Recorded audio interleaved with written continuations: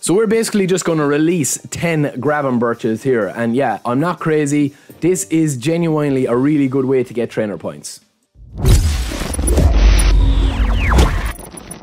What is the crack, lads? Welcome back to part two of our beginners tips. There are some good tips in here as well, even if you're not a beginner, so do watch the video. The first one is to log in every day. I know this is a very basic one, but some people will just stop playing for four or five days. They're either pissed off with the game or they have a bad result. I've been there, I've done it, and then you come back and you find, yeah, I mean, I should have logged in for the last couple of days. So even if you don't have time to play any matches, do try log in once every 24 hours. Just log in, takes 10 seconds, boot up your console, especially when you have a special login bonus. So just a reminder on that there while we are at it to kick this video off. Tip number two, I promise they get better from here, lads, is to flip players for trainers. So this is a very, very good tip, I think, that a lot of people don't do. And people always ask me in my live streams or my videos, how do I have so much trainer progression points or trainer XP? And this is how I do it. So you will notice there at the top of the screen, I have got nearly 8 million GP. This is from doing all the events, logging in, getting all the bonuses. I mean, they practically give away so much GP. Everyone has a ton of GP now that has been playing the game since the beta way back when. So what we're going to do here is we are going to get players, four star players with a player value. We're going to sort them by overall rating to get the cheapest uh, four star players that we can possibly get. So in our case, we are going to be going for Gravenberch. There is a secondary reason for going for Gravenberch as well. I always recommend going for a player that you might possibly want in your squad, and I'll tell you that in tip number three because it's a really key one as well that a lot of people don't know. So all we're going to do here is buy multiple versions of Gravenberch. He's 40,000 roughly. So we're going to be spending what? 43 grand on this player. So if we spend, you know, if we buy 10 versions of him, then we're going to go back into my team. We're going to go into players. We're going to sort this as well uh, through the list actions. And then we're going to sort by players that we have recently signed. And then once we get that, we're going to see all our Gravenberch. Look at that. They're like Pokemon, lads. They're just their duplicate Pokemon. But anyway, this is what we're going to be doing, right? We're going to be just selecting all of these and we are going to be releasing them, right? Because none of these players are going to be, we're, we're basically using these as, as flipping, right? Flipping them to get GP and to get trainer points. Not so much GP, but the trainer points is what we're at. So when we release here, we're going to get 40,000 trainer points. It's not a massive amount, but if you're like me and you've got a ton of GP lads that you genuinely are not going to spend before eFootball 2024 comes out, you have a pretty stacked team. You're getting free players, you're getting the match pass players, you're getting, you know, the free players every month with the login bonuses and all that. If you've got a ton of GP, I definitely think trainer programs are way more valuable than GP, and you can use that to do that. Now, we are going to take a look at some of the lower ranked players. So, this is Dante. He's only 10,000, but you'll just see the discrepancy here, right? So, he's 10,000. We're going to get what? 100 points per trainer. Like that's not enough. So I would definitely recommend to buy a player that's at least a four star. Dante is obviously a two star. So buy a player that's four star and stack up the trainer programs. I also mentioned about going for players when you are stacking up the trainer points and the progression points, as we did with Gravenberch there. I also mentioned about why you should do that, and it is to hunt for shiny cards. So again, I mentioned Pokemon. This is very similar to Pokemon as well with a shiny Pokemon if anyone that has played it. So for here, we're going to be signing Reece James. He's perfect. He's a five star player but he's only 100,000. So we're going to get max trainer points for this guy, better than we could get, uh, you know, for other five star players that are, you know, better bang for your buck.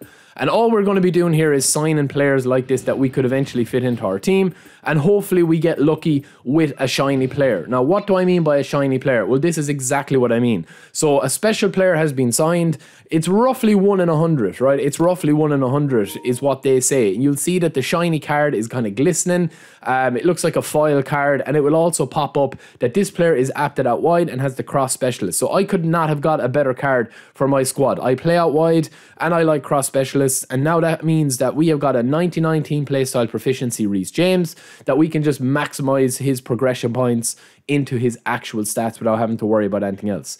Tip four is to lock players. So this all kind of falls into the one tip um, about not releasing players by mistake. I've seen people when they are kind of doing, you know, flipping players they might have a trained up version of Reece James, or they might have a special version of Messi, or they might have a special version of Fred, or whoever it is that's like an anchorman, uh, you know, version of a player or something like that, a really unique card, right?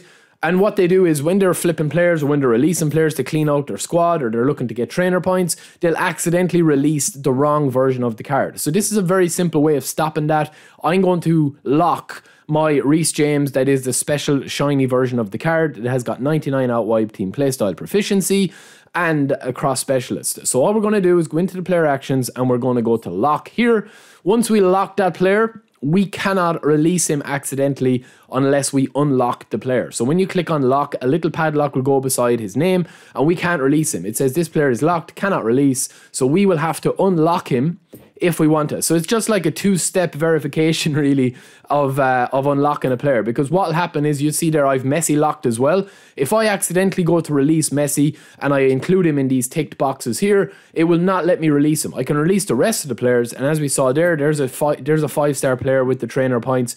You'll see there that with Reece James we get thirty thousand trainer points for. Um, a five star player when we release him. So we got, you know, we got more for Gravenberch, but obviously they're going to cost roughly around the same. So tip five, last but not least, is to get your formation to complement your style. I see a lot of people talk about this. I see a lot of comments, I see a lot of feedback, and I see a lot of suggestions in my videos. So keep them coming, lads. Um, I do read every comment and try to get back to as many as possible. But the amount of people that I come up against that are playing a formation that does not suit their playstyle, I'll come up against guys that are playing a possession based playstyle like this. Um, you know, instead of that but they'll be playing possession. You know, they'll be spreading the ball around, and the player's positioning, the player's abilities, everything won't suit their style. And you can always tell the type of players. I mean, there's four types of players that you come up against in eFootball all the time. You come up against possession guys, you come up against, you know, three bar pass assist guys that are going to automate a lot of their stuff. You come up against guys that are very aggressive, pressing the whole time and you come up against a guy that is able to, you know, do a lot of tricks and a lot of skills and bamboozle your AI. And they're usually high ranked players that know how to break the AI system and the animation system so that your players are kind of bamboozled, right?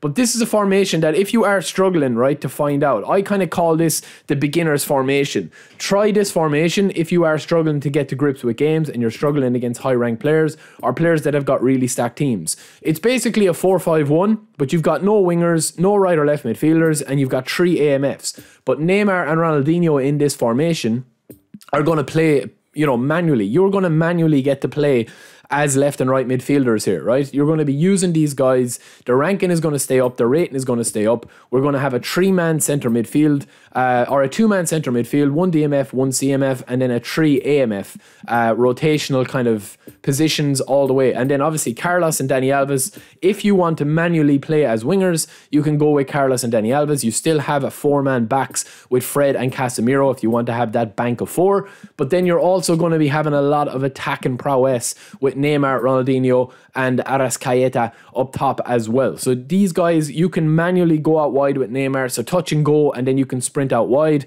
Neymar's positioning is is out wide as normal. You are playing out wide as well, so you're mixing a formation with a play style. So this is a very kind of like a beginner's formation. It's a very overpowered formation. You're tight at the back, you're solid at the back, but you've also got the attack prowess up front. So that is it for another five tips, lads. Don't forget to subscribe and share more tips with me. I'll be back with part three of this video quite soon. Hope you enjoyed it. Peace.